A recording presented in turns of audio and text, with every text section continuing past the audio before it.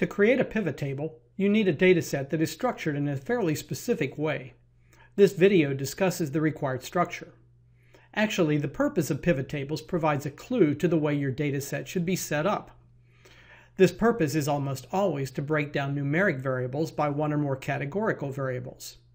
Therefore, it makes sense that your dataset should be a collection of numeric and categorical variables arranged in adjacent columns.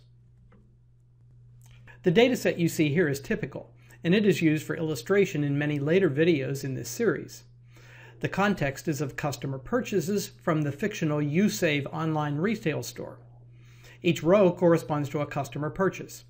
It has information about the date and time of the purchase, characteristics of the customer, and numeric information about the purchase. There are 4,000 purchases, and I have split the screen so that you can see the last few rows. A word about terminology is in order. Each row in this type of dataset is usually called a record, although you might also hear the term observation. This dataset has 4,000 records.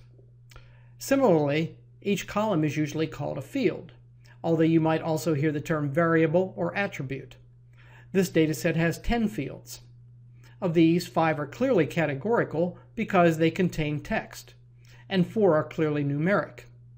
The other field is a date field, and it is typically treated as a categorical field. The terms fields and records come from relational database terminology, but they, especially fields, have become part of pivot table terminology as well.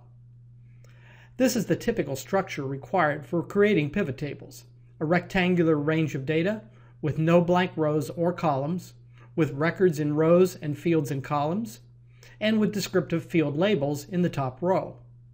If your dataset is not structured like this, and many datasets are not, then you need to manipulate it to get it into this form.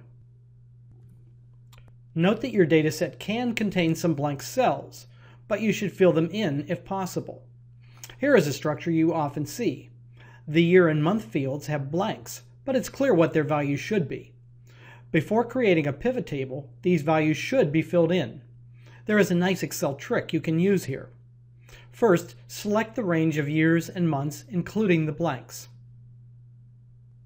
Next, press the F5 key to bring up the Go To dialog box. Click Special and select Blanks. This selects all the blank cells in the selected range, with cell B3 as the active cell. Finally, create a copyable formula by typing equals and then pressing the up arrow. Then press Ctrl Enter, both keys at once, to enter the formula into all blank cells. You can then check the formulas to understand what you've done. The blank cells in the total sales column are more problematic. They cause two potential problems for pivot tables. First, a pivot table treats the total sales field as categorical just because of the two blanks. This is not too important, but you should be aware of it. Second, if you summarize total sales in a pivot table by summing or averaging, it treats the blanks as zeros. If these two data values are really missing, you might not be able to fill them in in any meaningful way, but you should at least be aware of the consequences for pivot tables. I will finish this video with an example of a common but bad data structure, at least for pivot tables. You see this on the left, where monthly sales are listed in a table. This is a compact way to store the data, but it won't lead to useful pivot tables. The better design is shown on the right, where each month-region combination gets its own row. This design can then be used in a pivot table to break down sales by month or region. In summary, pivot tables can provide amazing results, but you need to ensure that your data set is structured properly, as described here, before pivot tables can provide meaningful results.